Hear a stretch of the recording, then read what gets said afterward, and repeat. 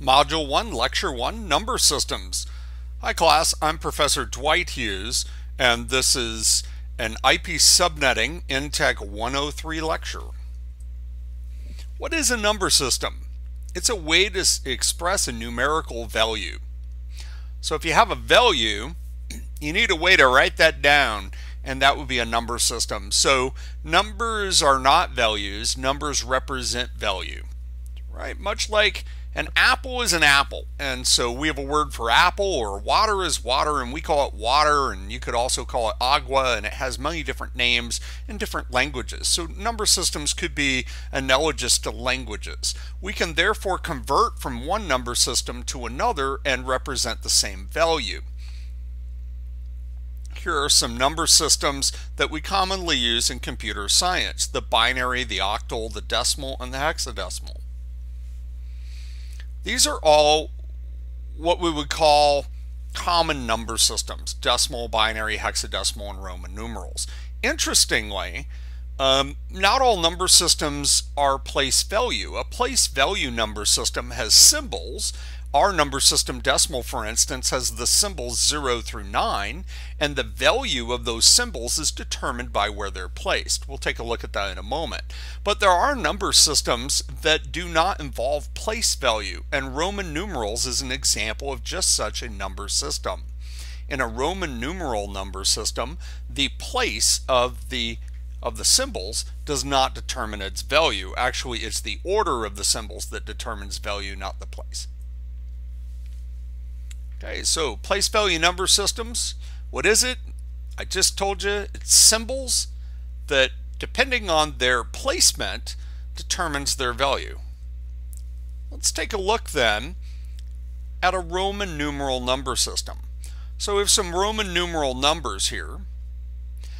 There's some interesting things with the Roman numeral number system. Uh, many folks don't know there's no zero, and so there's no way to represent nothing something unique about um, binary and decimal and hexadecimal is they include a symbol for zero. The zero symbol actually serves two purposes. The zero all by itself represents a null value of nothing, and when you combine the zero with other symbols, it takes the form of a placeholder. For instance, if you wanted to represent 100, you would put a 1, 0, 0. The zeros don't have value, but they hold the place, giving the 1 the value 100. Anyhow, in a Roman numeral number system, the order of the symbols determines its value, not the place, but the order. Okay, let's look at decimal. We've used this most of our lives so we know how to write it. We often don't write it with special notation, but you can see some special notations here. It's most widely used uh, numerical based number system in the world today because um, it's used by all humans. And uh, I'm not sure that's actually an accurate fact. It is the most widely used uh, numerical base used by humans, but there's many more computers than humans, right? So uh, computers probably uh, win with their binary number system. Anyhow, here's a breakdown of how the decimal number system would work. If you wanted to represent the value 101, as in this example, you're actually doing 1 times 10 to the second plus 0 times 10 to the 1 plus 1 times 10 to the 0. That's mathematically the way you would write that out. Those are the places. The places are 10 to the 0, 10 to the 1, and 10 to the 2. And as we know, anything to the zero power is 1. So that's the ones place, then you have the tens place, and then you have the 100s place. Let's look at binary for a moment. Binary is a base 2 number system, so you only have two symbols. Uh, the base tells you how many symbols you have to represent value, and in binary there's just the symbols 0 and 1. It's the language that all electronic devices use to speak. Each digit is referred to as a bit. So all the ones and zeros, when you write them out, they are referred to as bits. As in the example here, 101 in binary would actually be equal to 5 in the decimal number system. If you look at the subscripted 2 and 5 in the example, sorry, 10, 2 and 10 in the example, you'll see that those are showing you what base, base 2 or base 10. Let's look at base 16 or hexadecimal. So with hexadecimal, we have to have 16 symbols. So we have the common 0 through 9 that we're used to in decimal, and then they add A through F. A equals 10, B is 11, C is 12, and so on up until F, which is 15. We commonly use hexadecimal a lot with programming, but it's also used in the networking world. We'll be using it when we study IPv6 later this quarter. We are able to annotate the hexadecimal number with a 0x. Did you notice with the others we put a subscripted 2 or a subscripted 10 to let people know what base we were talking about. One confusing thing when you're working with different bases, as shown in the prior two examples, 101 could mean two different values depending if it was binary or decimal. And so if I put a 101 with a subscripted 2, you would know I was talking about binary. And if I put 101 with a subscripted 10, you would know I was talking about decimal.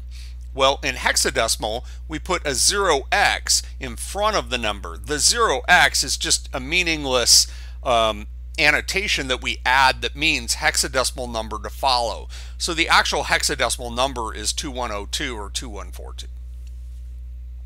Here's a hexadecimal number example for you, A37E. So you would break that down as shown in the diagram here. That's how mathematically you would do it again by place value. You have the ones place, the 16s place, the 256 place, and so on. Terminology. A bit is one binary symbol, so a 1 or a 0. A nibble is a collection of four bits, so any four bits can be called a nibble. And you probably have heard the term byte or bytes. A byte is 8 bits. Or you could say a byte is 2 nibbles. Sometimes we'll call a byte an octet. Byte and octet mean the same thing. Octet is also a group of 8 bits. Let's do a whiteboard session on binary decimal hexadecimal conversions. When you're working with converting numbers, it helps to have a conversion table.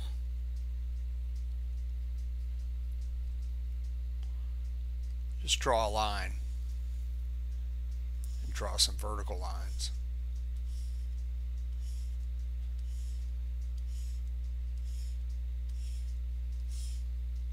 Something like that. And then your table is always going to start with a ones column. And because we're going to convert to binary, we're going to write the binary equivalents here.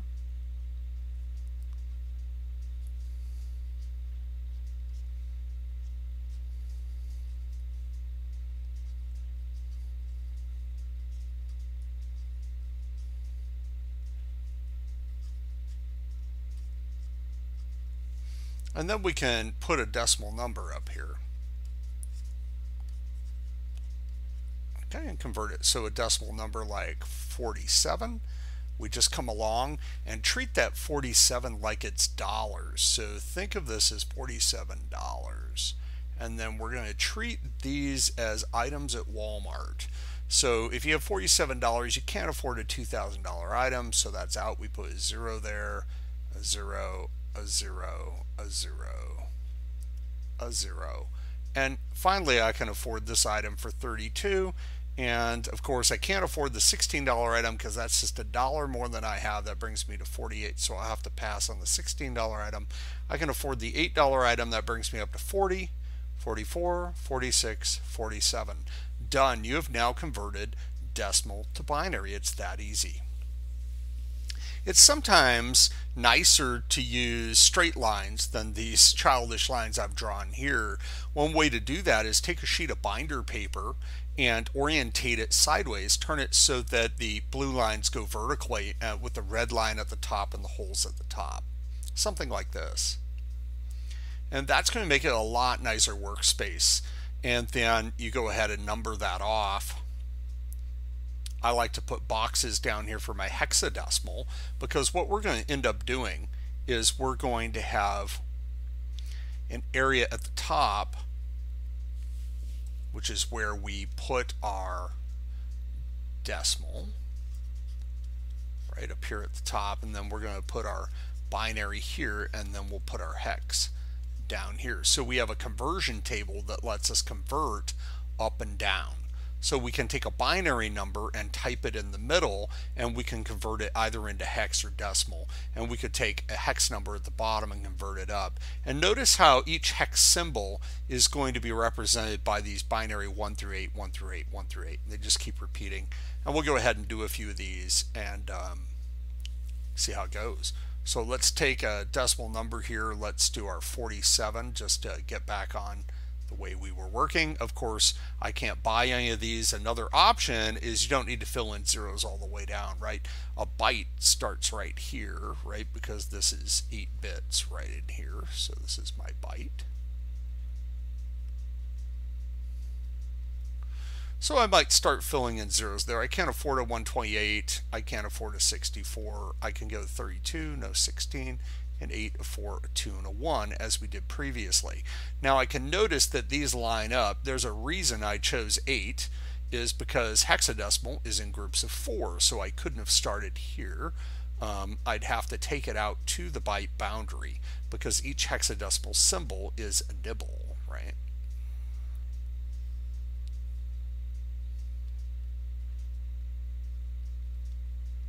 That's a nibble, which is 4 bits.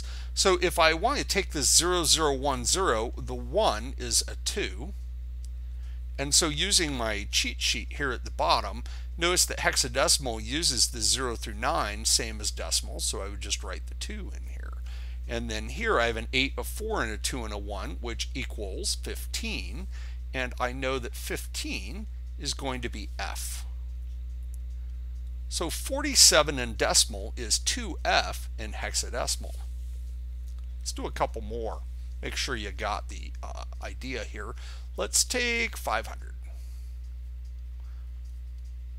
Okay, if I have 500, I come over here, I can't afford a 512. Notice I started here because I like to start a little higher than I need to be. And I can afford a 256 though, right? And a 128. And you might have to start writing these over at the side over here just to kind of start adding them up. Some of these are a little hard to do, right? Um, oh, we don't have a 512, we have a 256. Right, I just add those up, 8 and 6s, 4, and then that's going to be an 8, and that's going to be 384 and you just come down keep doing that. Let's add another 96 to that.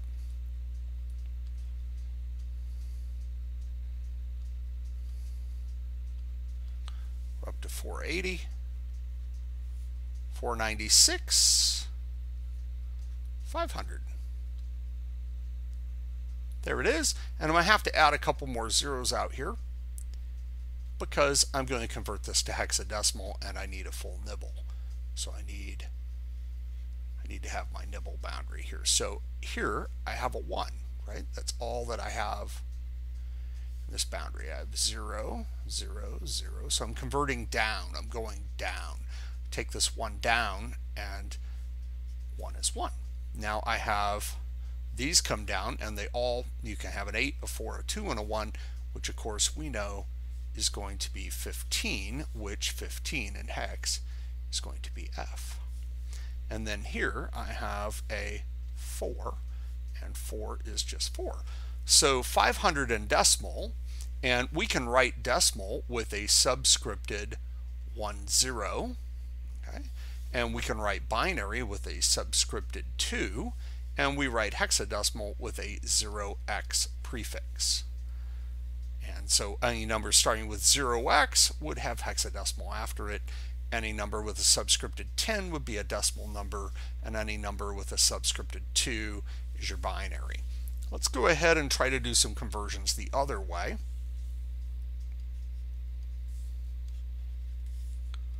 Let's take ABC. Well, that's kind of a fun one, ABCs, right? And A is 10, so I would need an 8 and a 2, right? You have an 8 and a 2. A turns into 1010 in hex. B is 11.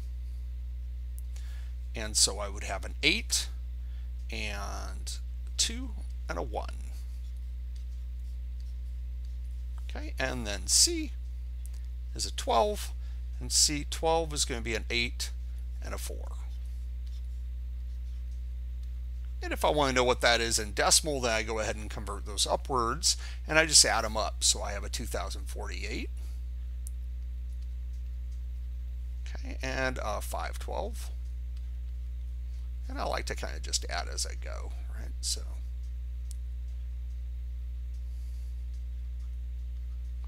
Okay, and then I have a 128 I have looks like a 32 and a 16 which is 48 and we'll add those up so 8 and 8 is 16 and then here we have 10 and 13 and this is going to be 7 so we have 2736. And so now what I have left is another 12 to tack on to that. And so my decimal total, I'll try and write it really nice here for you.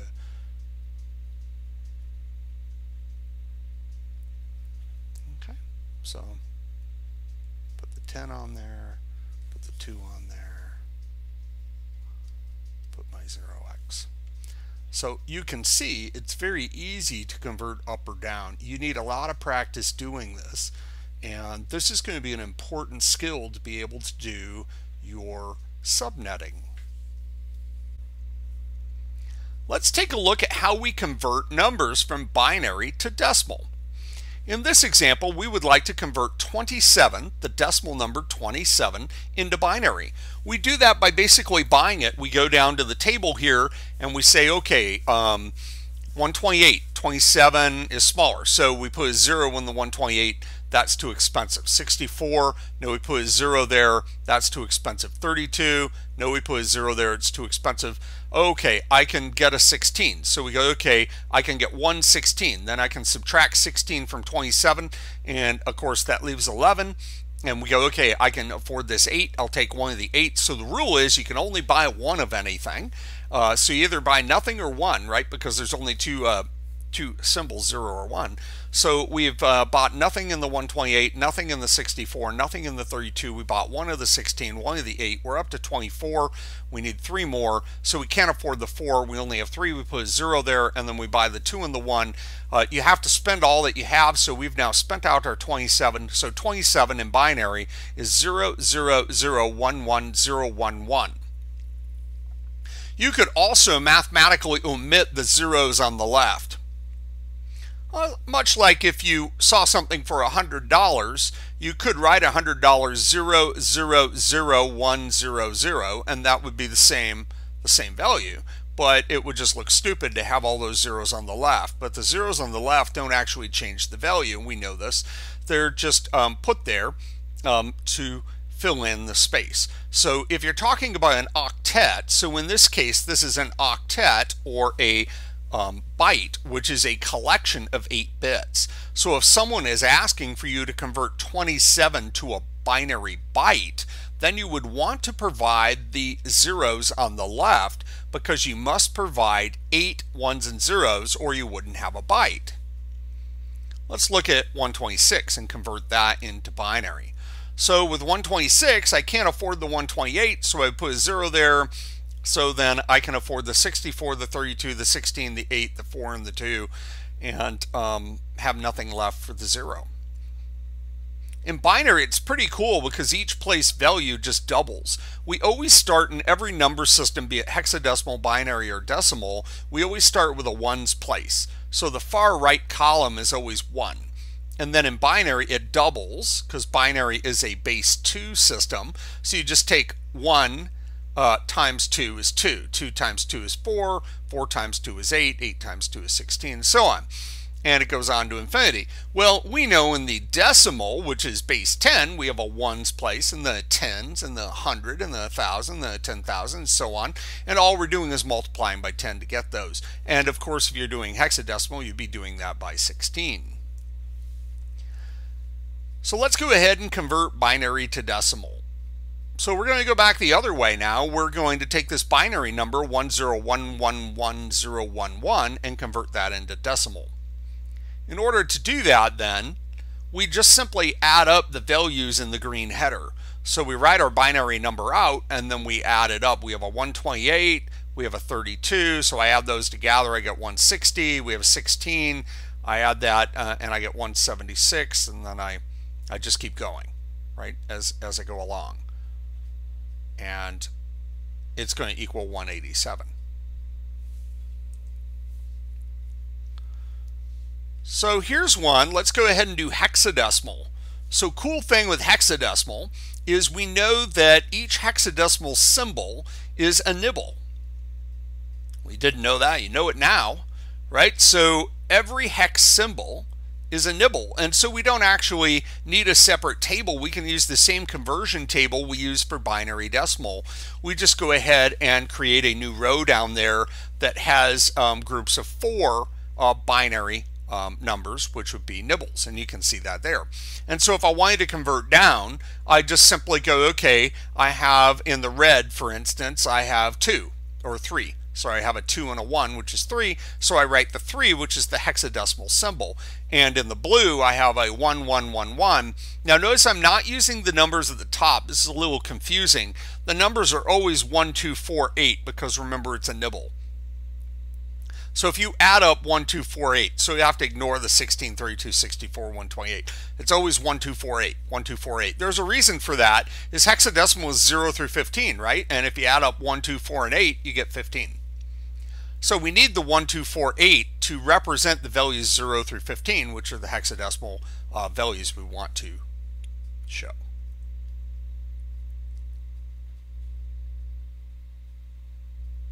Okay, so let's convert hexadecimal to binary and decimal. Let's try to convert F7 into binary. So we know that an F is 15 or 1111, and we know that 7 then would not have an 8, but would have a 4 and a 2 and a 1 and it would look something like that. And once we've converted our um, F7 into binary, we can now convert the binary into decimal. So the technique I'm showing you, you never can go from hexadecimal to decimal. You have to go hexadecimal to binary to decimal. Binary becomes the glue, if you will, that allows us to convert. You can still convert from anything to anything, but you have to make a stop in the binary world to get there. And that's because of the beauty of hexadecimal being a factor of four of binary. So again, hexadecimal is uh, a nibble or uh, four, factor of four over the binary.